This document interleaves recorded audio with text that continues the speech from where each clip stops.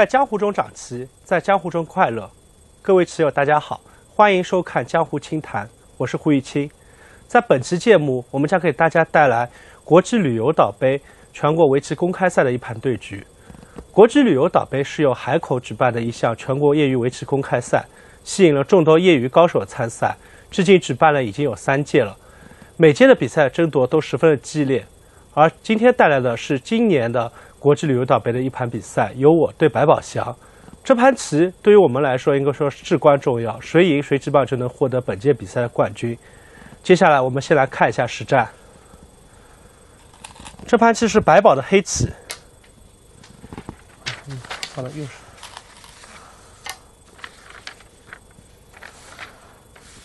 三三。这盘棋下于今年的六月份，当时阿法狗对围棋的影响已经是。渐渐存在了，所以像三三小目的布局越来越多。白宝一看这个尖冲，我们上期节目已经介绍过，白宝祥是一个比较喜欢下对棋的理解的一名棋手，他的布局比较变化多端，并且比较能构思。这两手的交换，白棋跳是一个新的变化，如果按照以前白棋飞。黑棋这棋基本上就会脱先，比如说再挂，这主要是想让白棋确定一下方向。如果白棋拖这个的话，那黑棋有可能就是会顶了扳。这样黑棋的一个铁头碰到白棋这个子，黑就简假设最简单的打了一虎。这白棋的铁头和白棋这个子多多少少有点重复，而左边的价值由于都在低位。所以这次白棋的发展性会比较差一点，几乎所有子都在低位，而且都在这个左边的二三线。从这个棋的道理上来讲，从不太想这么下，所以白棋跳一个。同样道理，如果换成这个方向，也会面临这个问题。黑棋高挂的话，白就不能再往这个拖了。黑棋就是顶的话，同样道理，白棋的子都在这个三线上，这肯定是不满意的。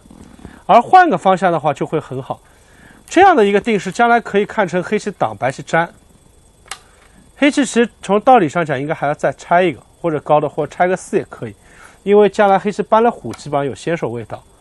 这手如果不走的话，被黑棋这手搬后薄和目数都差别特别大，尤其后薄上被黑棋搬完，黑这块就是强棋，而白棋弱棋。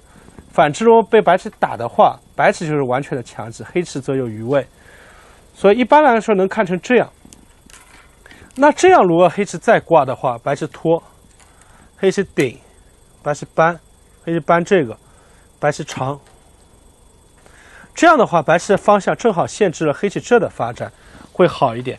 所以布局的时候，我们下这个定式的时候，其实也要考虑一下周围，包括这个子，包括这个子的一个连贯性。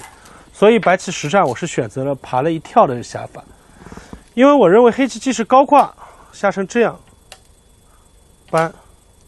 走，这黑棋由于拆的太宽了，所以这棋其实也很难有一个明确连贯。走这个，走成这样的话，比如说白棋将来这飞或者这拐都有先手味道，黑棋的子效并不是特别高。况且白棋也有打入的可能性，两个打入的可能性，所以我认为黑棋这个配置并不是怎么样特别满意的一个配置，肯定不如这样一个配置，这样的配置会好很多。所以实际上。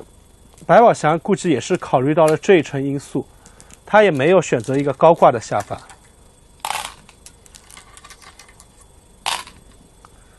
他选择一个低挂。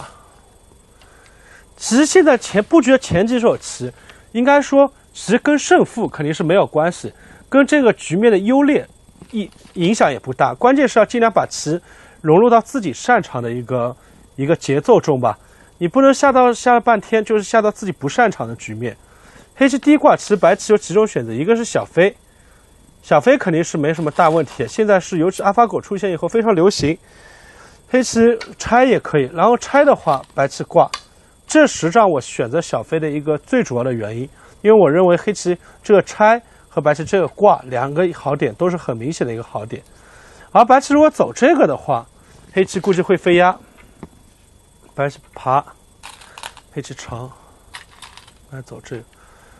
接下来黑棋可以加一下，黑棋这时候挡，按照目前为止理论上，这下挡不一定是挡得着，白棋可能会加脱先。黑棋局部如果冲断哪，断哪吃哪。像这样的一个局部，包括阿法狗，经常我们可以看到它的实战，黑棋星位，白棋点三三，黑走，白棋爬，黑棋走，白棋跳，这是经常从谱上可以看到的一个下法，但就我很少看到他是选择这个冲断。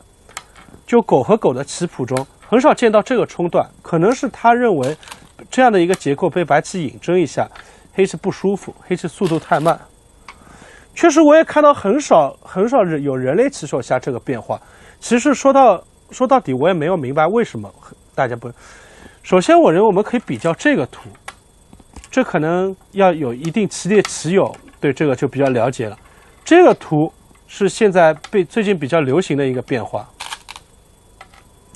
尤其是阿法狗，这下了以后，阿法狗特别喜欢下这个定式，走成这样，黑棋真吃。他认为这个是可以接受的，白棋再引阵，黑棋再飞补一个，这是一个基本定式。但这样的话，我认为黑棋比这个图要，同样手数是一样的，黑棋断，黑棋打吃提走，白棋如果引针，黑棋假设在这飞或者提，我觉得这个后势黑棋后势比刚才那个后势要完整很多。将来这个力虽说不不一定是绝对先手，但也有先手味道。黑棋这里万是相当完整，而刚才那个图明显黑棋有各种借用，而白棋的目数来讲，白棋刚才比这个目数也要好，所以我一直没有明白黑棋为什么不冲断。这个确实也是未来需要自己自己水平提高和理解的地方，确实还没有办法能理解阿法狗为什么这么下。曾经我们也在一个我们的研究会《超级星期四》中对这个局部进行讨论，大家其实也都是没有明白黑棋为什么断，就觉得断很少见。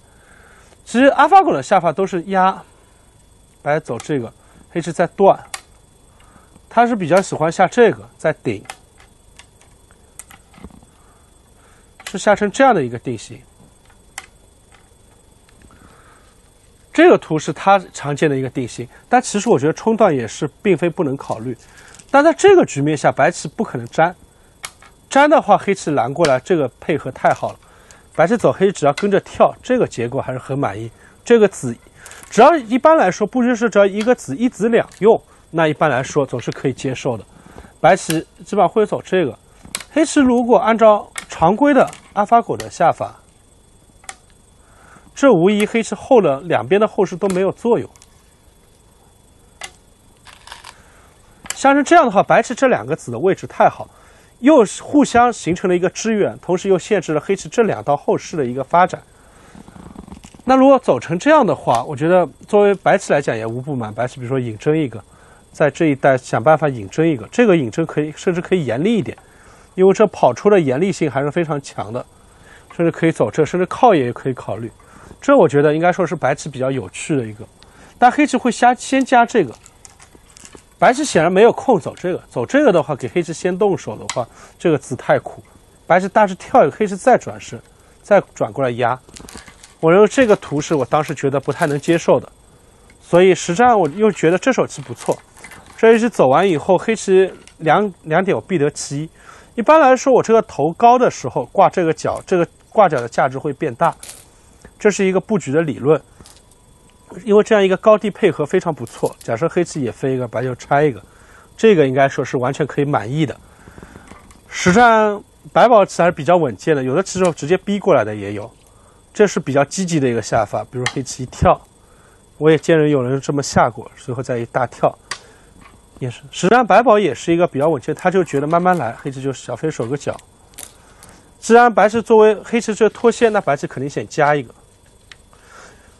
从夹击的位置上来讲，肯定是两间低夹是最好的。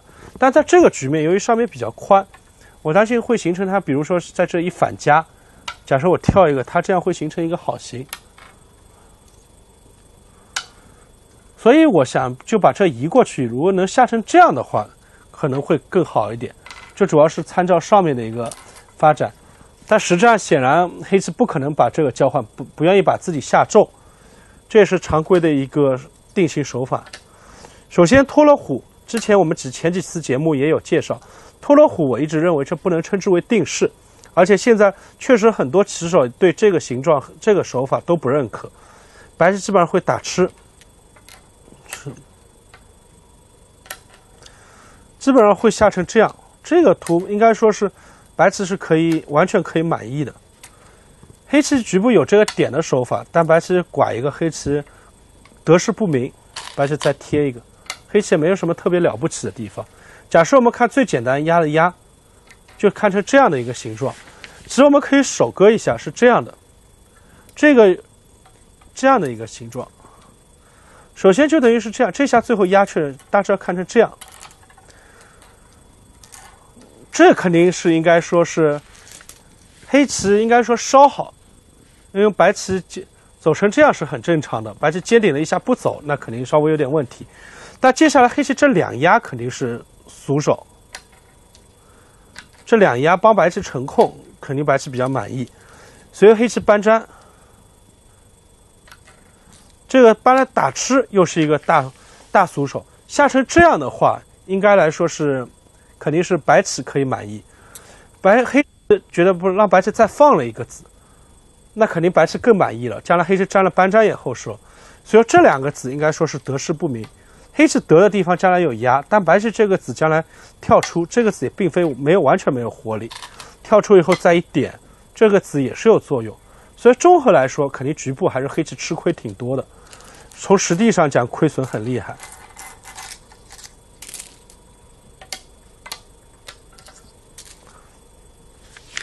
黑棋除了这招以外，无疑其他下法黑棋还有断，但断多多少少有点损。白棋又想打吃，粘，就把这个子给吃了。这黑棋多多少少这一下亏的还是很厉害，所以实战黑棋连扳。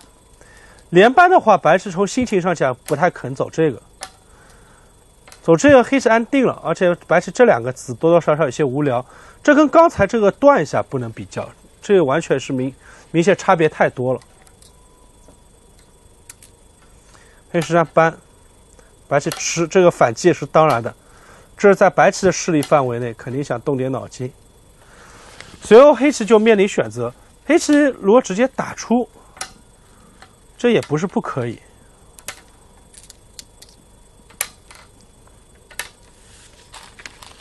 再加。这其实也并不是不可以，因为我们也知道以前有一个这样的定式：白棋三间加，黑棋反加，白棋飞，黑棋走这个，白棋走，黑棋搬。大家稍微有点棋力的棋友应该是能见过这个定式：提，打吃，跑，再打吃，再跑，加。这白棋不肯吃这个，吃这个被黑棋连着两打，有一种弃子包收的感觉。走这个，可以粘。首先白棋这棋不能吃这个，如果吃这个能成立的话，那就黑棋断然不行。但黑棋这是有打吃这个的好手。首先白棋不肯不能忍这个，忍这个的话被黑棋一打，这个这先手两下太厉害了。白棋跑，跑的话黑棋打吃，这个子被一种借镜在打吃。白棋提，黑棋打吃了粘上，这个图白棋也有所不满，所以这个时候白棋只能走这个，黑棋长，白棋粘上，这成为了一个定式。应该说，这个定式喜欢黑白棋的人都有，比较偏喜欢实地的棋风，那肯定喜欢白棋。而喜欢后大模样作战，或或者利用后卫发挥威力的棋手，那肯定觉得黑棋不错。而实战没了这个子，这个子没有，这就成为要解读一个局面，黑棋完全可以这么样一氧化葫芦这么下，这白棋也没有任何变化，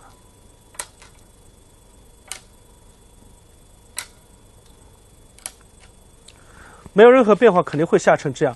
那主要怎么样对一个局面解读呢？首先，黑棋省了这手棋，但我认为黑棋省省了这手棋，黑棋加的话也无外乎最多也加到这里，而且加到这里不一定有加这个位置好。为什么这么说呢？如果加到这的话，白棋完全有可能动出，一旦动出的话，这块棋是孤棋还是后势，还真不好说。就假设假设他加到这，我觉得这两个子的位置哪个好，真的挺难讲的。白棋将来这里呢有手段，白棋 B 都是先手，而这个就是对这里的安全一点。假设我们看成这，不管它这个还是这个，我们假设认为这是个两分的话，那黑棋这两下我觉得明显是亏了，方向肯定是有问题。黑棋如果现在再走的话，肯定会从这边走过来，因为白棋这个是铁头，这里的价值特别小，所以综合下来，我觉得如果黑棋下成这样一个定式的话，肯定是黑棋不能太满意。所以白宝估计也是考虑到了一个这样的一个想法吧，他实际上是尖冲，他求变，尖冲，白棋不能这虎，虎的话黑棋压过来，这黑棋很舒服。这棋白棋有点无聊，实际上白棋贴。走，再贴，走，再贴，一顿贴。黑棋当然不能吃这个，或者这时候都不能吃这个。吃这个看上去把这个破了，但白棋这个一扳头，这个这棋几乎已经是要下完了。这个扳头的对中央的价值辐射太大了，黑棋不能，黑棋长头是必然的。下成这样的时候，就对局面的一个解读就非常困难。这棋怎么下？因为现在一个明显的好点。白棋这飞出肯定是一个明显好点，但实战担心这手棋有所落空，黑棋吃，再一吃，先把这得了。白棋这两个子不一定吃得住黑棋，假设黑棋这消一消，跑一跑，这手棋很有可能会落空。而实战我的一个选择是贴了这个，因为我是这么想的：假设黑棋按照实战那样黑棋飞，那我就再花一手吃，就吃，把这个全吃住，应该还可以。如果黑棋能跟着我跑，我就先把它下中了。就是他如果能愿意肯这么下，我就先把它呼进去。甚至如果他做活了，我就把先走进去。走进去的话，我就不一定要飞了，我就把这补这个。想法应该说是有一定的道理，但实际上实际上后面我们，因为我们一些朋友也有些对于围棋的对于软件，我们就用软件打分的一个推荐。软件说它确实一个 A、B、C。确实三个点都有，我们是有里拉那个软件。随后最最推荐是虎一个，这个和白宝不谋而合。我们下完棋对这盘棋进行了复盘的时候，他也觉得这棋白棋应该虎一个，他觉得这黑棋这一串太苍白了。这样的话是明显白棋好。我说我担心你飞一个，飞一个，他说他就拆一个。这棋确实黑棋也没什么好的，黑棋如果往这一带走棋，贴一个，拆一个的话，白棋就出头。这应该是白棋不错的一个局面。实战白棋一贴的话，他很机敏，他先把这个给吃了一，打了一贴吃，先把这里收了。那我这肯定也再得花一手，走这个黑棋飞，白棋一飞，就形成了一个非常有意思的一个格局。白棋在左左上角吐了一块大空，围了一块。我们手割一下，这空的效率还是非常高的。如果这样的话，就等于这样在六线围了一目。很好点十、二十、三十、四十、五十、五十目棋，再加这一个五五十二三目棋，五十三目。那黑棋得到什么？黑棋实际上在这一开拆，如果这全部点成黑棋的空的话，那确确实黑棋优势。但实际上，我觉得这个黑棋并不能完全点成空，所以对这样一个局面的一个解读，我当然觉得白棋还可以，应该说是白棋不错的一个局面。但白宝强也觉得是一个旗鼓相当。所以我也问了，把就这个问题问了一些其他棋手，他们也觉得是应该差不多。因为最头疼的是这里多多少少还是有点味道，不能完全点成空。真的哪天他如果形势不好了，像这种直接扔进来，像这扔一个，确实你要一定要吃了它或者不给便宜，也挺不好说的。所以这也是一个白棋的一个隐患吧。如果这全部点成空，那这棋确实好下了。所以也建议有些棋友，就棋友们不要去做这些。手筋看上去手筋的交换，其实白棋即使跟着你硬，这几下也不一定便宜。就像尤其像这种先手点一下，就觉得想走到外面就比较好，但实际上全跟着硬的话，里面如果全撞实了，那肯定也是不满意的。所以其实这手棋也挺有、挺挺讲究的。白棋飞这个目数肯定最多，但不太肯。黑棋下压以后，关键这是黑棋走这个，白棋你肯不肯贴？如果不肯贴黑棋将来压以后，你补不补都是比较头疼的。补的话，那明显亏了，给黑棋在外面放个子。但如果不补的话，这里面味道太坏。所以局后我反省白棋是不是这个棋就应该扎扎实跳一个，把这块棋围实了。实际上这手棋里面多多少少还是有一定味道。实际上黑棋走了这个以后，白棋需要就是要动一点脑筋了，肯定模样中心在这里。如果继续背书的话，走这个，黑棋肯定逼。白棋走这个，黑棋飞棋也好，甚至走这个也好，这个下法可能有一定的特殊性了。如果走这个，黑棋甚至可以考虑去跳棋围控。像这样的棋，确实双方谁都没有把握。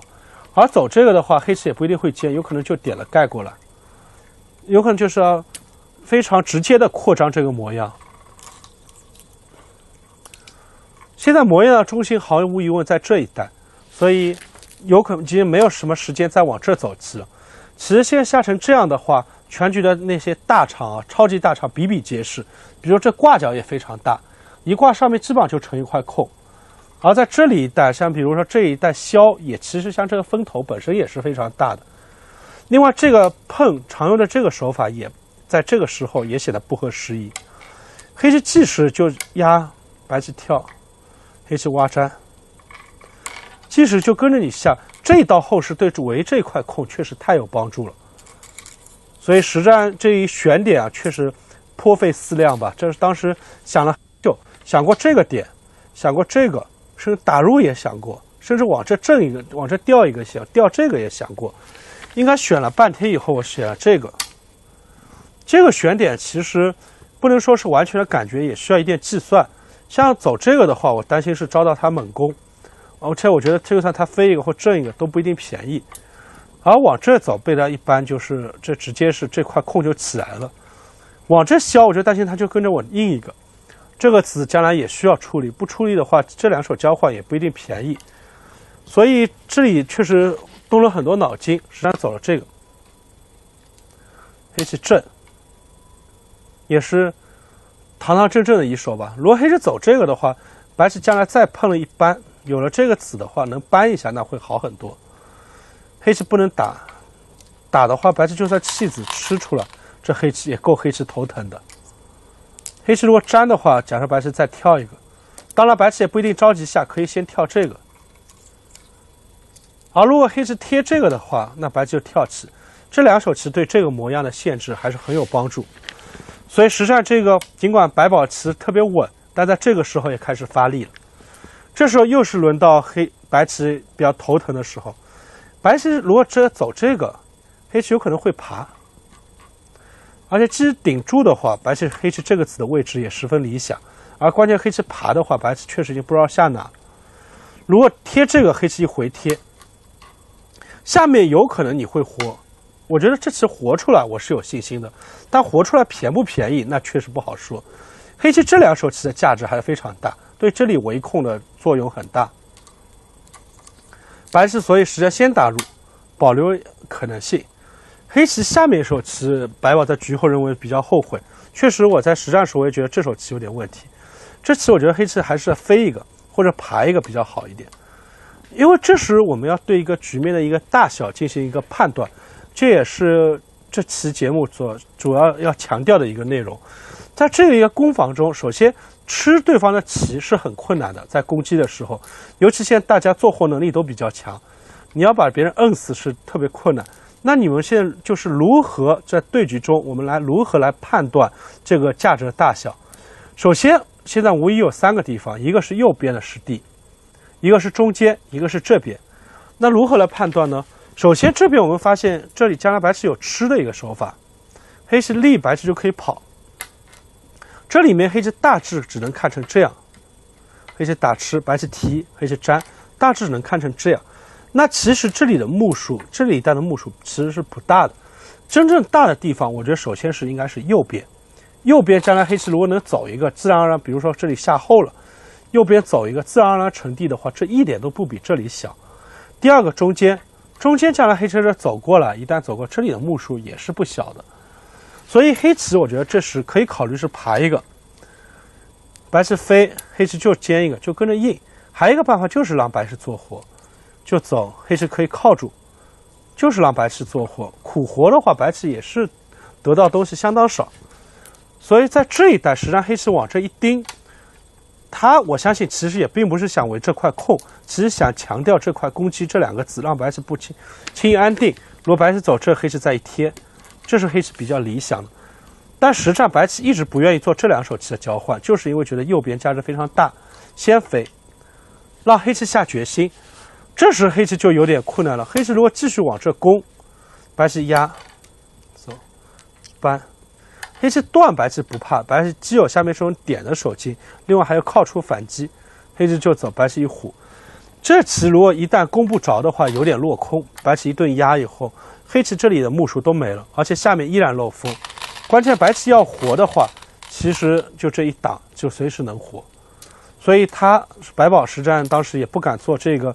直接的一个攻击吧，太过于露骨。这个直接，但如果围这块空的话，那方向毫无疑问大逆，就完全方向是逆的。如果黑棋飞的话，白就跟着走出去。你将来刚才我们已经强调，这一打黑棋棋没多少目数，所以这个时候他把这个爬了，也反映他棋风的一手，先把木捞住。那作为白棋来说，这几下还是很舒服的。这几下走得很舒服，长，先是把白黑棋的空圈压缩了，随后白棋在悠悠然跑出。应该说下到这里的话，这一串应该是白棋便宜了。首先，白棋把黑棋的一个模样就削到了最小的地方，况且将来现在黑棋下一手马上把这个吃了，这也是体现功力的一手。不仅目数大，关键还是将来否则白棋这一贴黑棋还是很难受。黑棋如果搬的话，白棋一断之类的。黑棋很痛苦，这里面味道很差。假设这有个子的话，设置白棋吃一吃，里面味道太差了。走的话，白棋还能再压。所以这一代他经过长考以后把这个吃了。但总体来说，白棋这几手棋的先手交换把黑棋全压缩了，这应该说是黑白棋比较不错的一个局面。碰，继续发挥这些子的作用。这一块因为现在黑棋也不好攻，白棋跳棋眼形还挺丰富的。这是黑棋，如果逼的话，白棋还可以搬了一粘。这棋黑棋有点吃不消，将来随时可以贴，因为随时白棋是有可能会做这个选择，贴着推出去把这个气了，完全是有这个可能性。所以经过长考以后，黑棋走这个搬的话没有意思，搬的话被白棋反搬，黑棋反而没有应手，黑棋大致只能退，那这明显亏了。这白棋拆的可以远一点。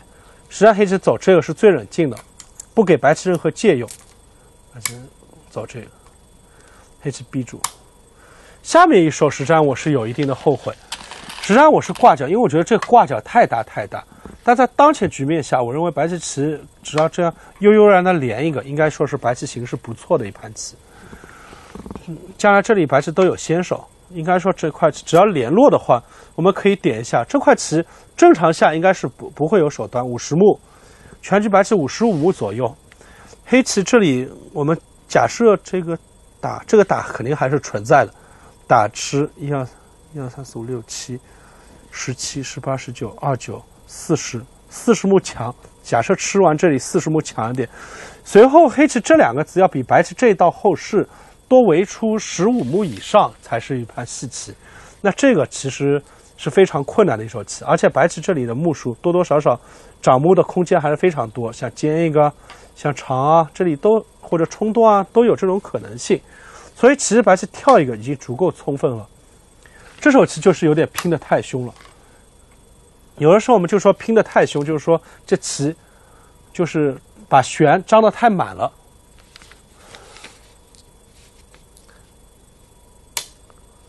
遭到了黑棋这时候反击，这个分段以后，这局面开始难解。这手确实是不可错过好点，千万这棋，其实我当时下棋的时候还有点侥幸心理，因为我想白宝棋比较稳，挂一下，假设他硬一个，那我再跳回，那这挂角无疑便宜了，因为正好以这个后势为背景，正好开拆形成一个立体型的一个模样，这挂到下肯定便宜了。当然，像白宝这样的棋手绝对不会错过这样的好点。这黑棋一飞，黑棋依然这棋是掌握了局面的一个主动权吧。但现在黑棋的实地的压力应该说是比较大的。尽管主动，但这棋一定要有明显的收获。但作为白棋来讲，这无疑有些不简明。小飞。实际上，黑棋我们我下棋完棋以后，我们一块在研究是有人提出黑棋为什么不走这个？白棋如果飞压黑在这，首先白宝认为这棋白棋完全可以再继续下。黑棋是如果再花一手吃肯定不行，但如果在这走的话，将来白棋这活出的可能性太大了。他十分不喜欢这种特别极端的棋，他觉得这棋如果一旦吃不住被活出，这棋马上结束了。所以他这里一攻击一直并不是跟你说以吃这块白棋为目的，而想纠缠白棋来获取白别的利益。白棋跳。这从表面上看确实有点苦，白棋有点苦。他认为我这棋甚至白棋可以考虑跳一个都可以，这棋他觉得他不好吃。但作为白棋来讲，白棋觉得我是觉得这跳一下应该也不亏。黑棋压，开始缠绕攻击，白棋压，白先搬了一下，再压，一跳。实际上下一手我觉得。白宝祥应该说是下的非常狠。按照我的预想图，我是以为他虎，虎。当时我打算这棋跳一个，或甚至我把他这个给吃了。这棋我觉得应该白棋要赢，我就把这个吃了，不用搬应该也可以。但我觉得这棋已经足够了。这黑棋不敢跑，黑棋大家只能吃一个，那白棋大致走一个。这棋明显是要白棋要赢一点的样子。这是我当时的一个理想图，但实际上。他这棋也是下的非常紧凑，他可能就觉得这棋形势并不是这么乐观，断这个，这直接引起一场世界大战。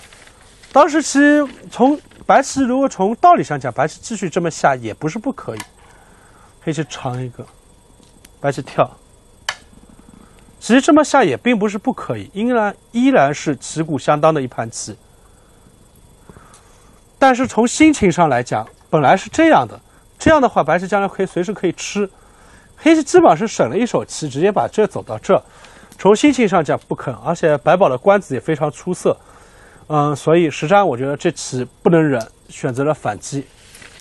小尖，这一反击以后，这基本上就形成了一个黑棋一定要在攻击中取得明显利益的一个局面。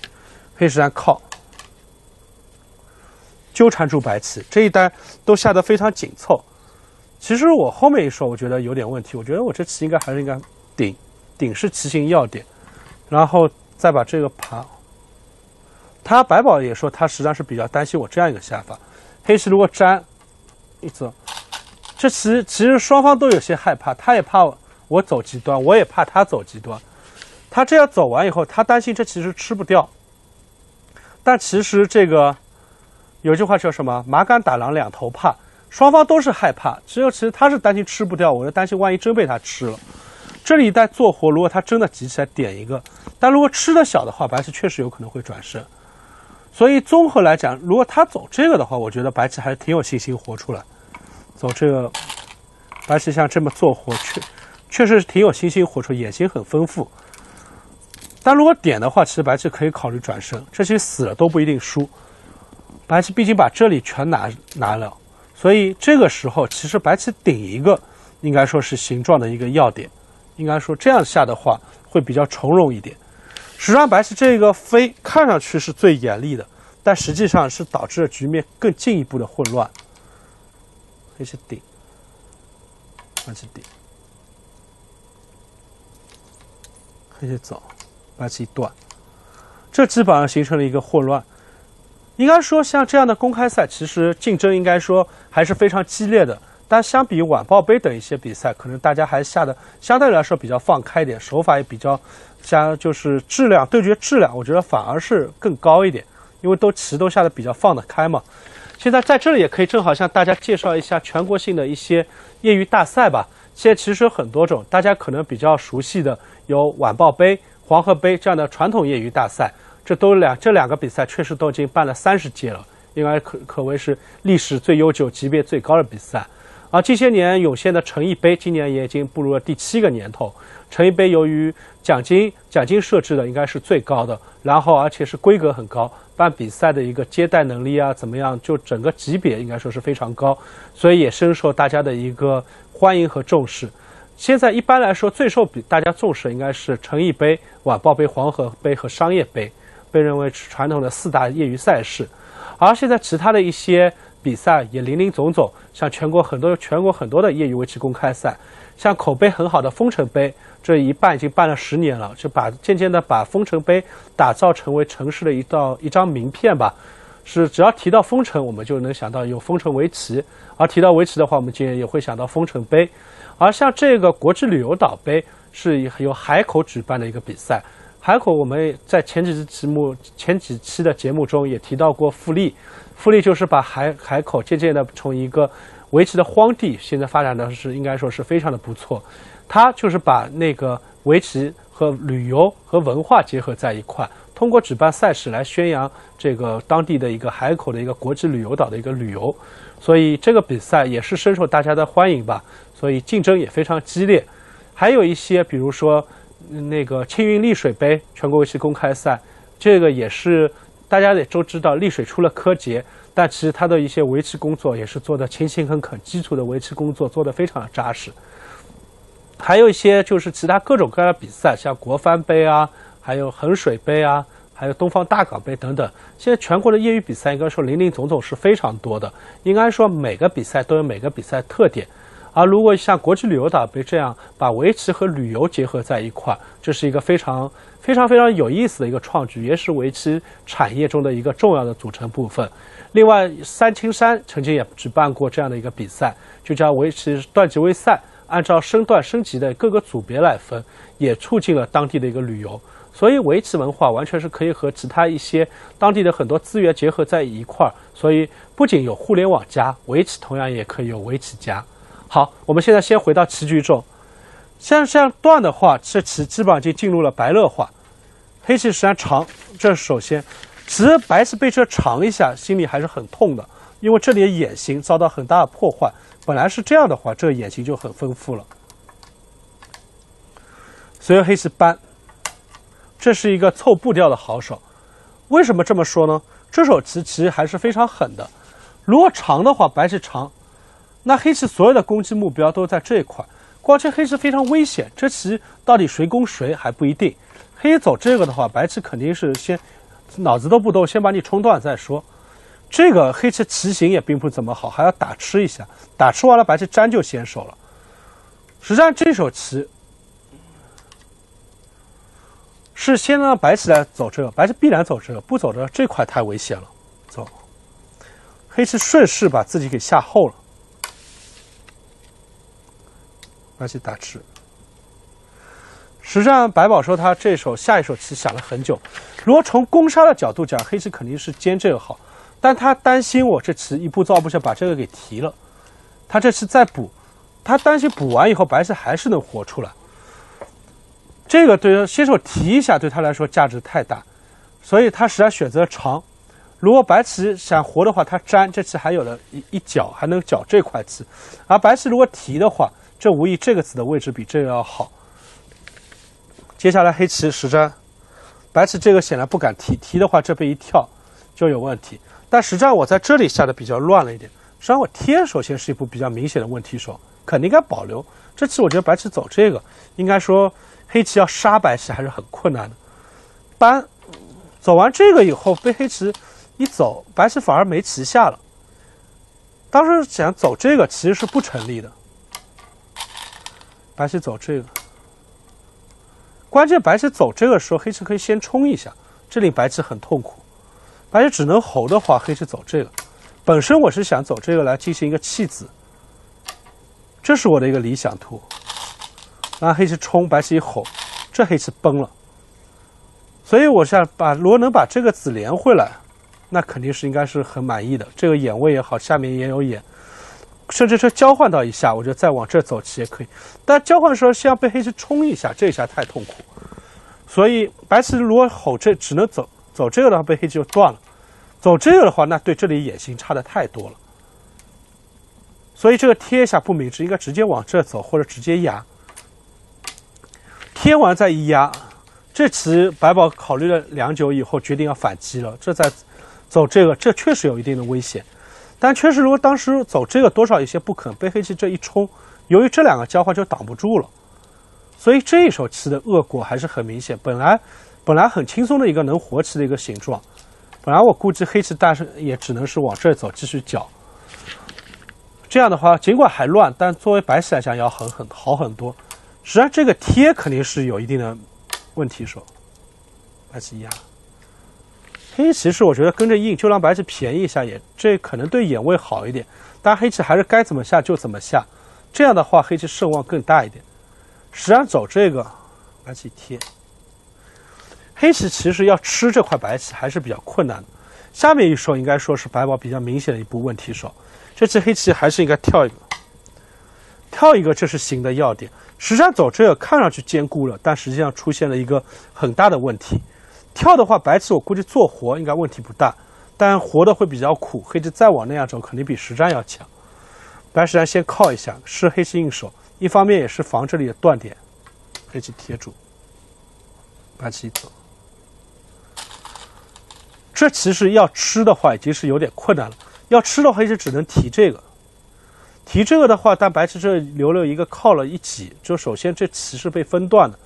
白棋再往这冲的话，这个局部就很复杂，甚至白棋挖一个，这个我觉得已经是很难说有把握吃黑白棋了。黑棋顶，实际上顶的话，白棋挖一个是好手。这黑棋的包围圈已经出现了一定的问题。是，这两下看上去很损，但接下来就这一手是解围的好手。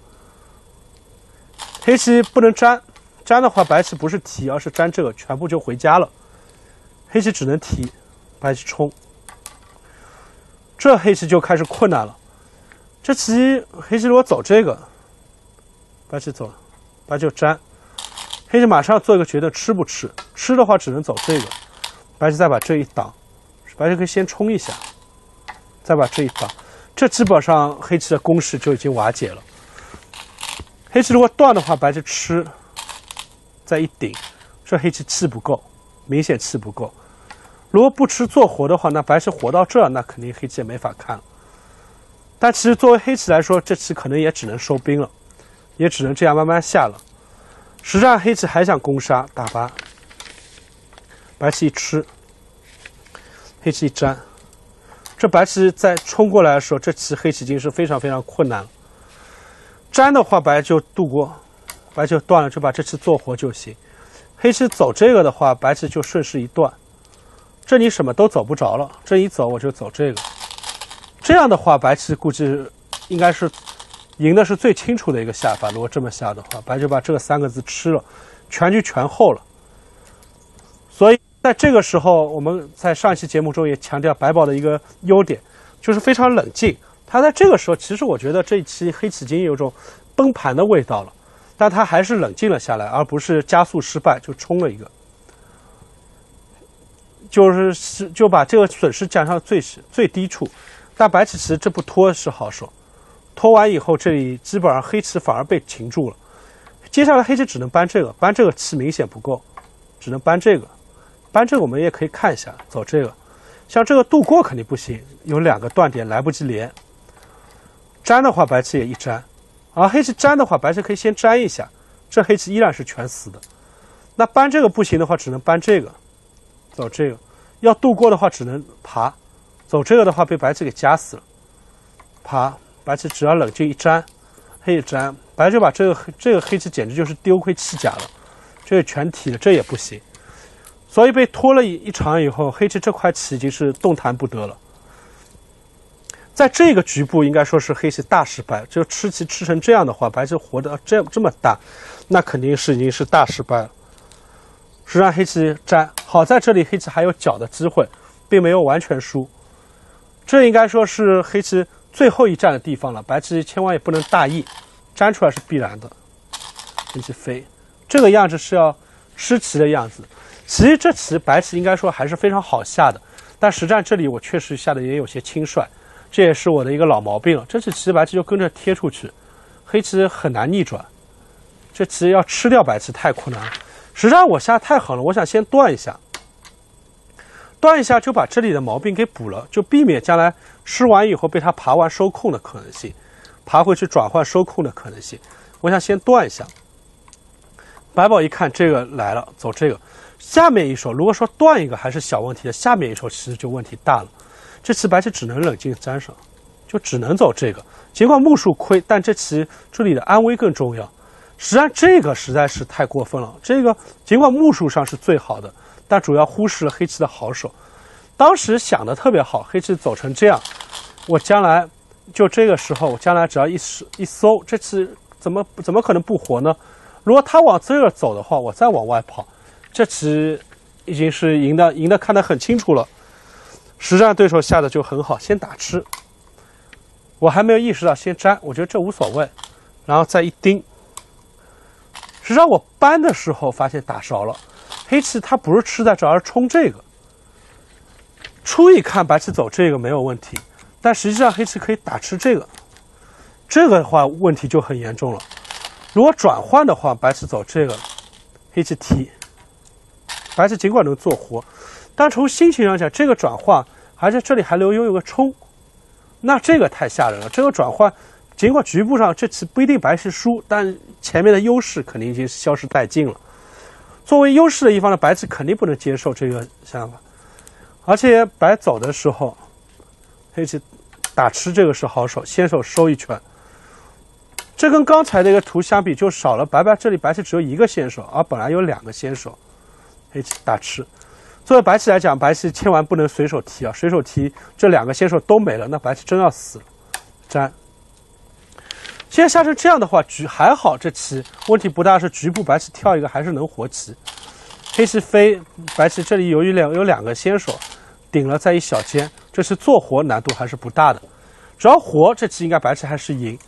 所以黑棋这里的话，将来要杀白棋的话，还是要往这走一走一手，不走的话，这白棋活起来问题不大。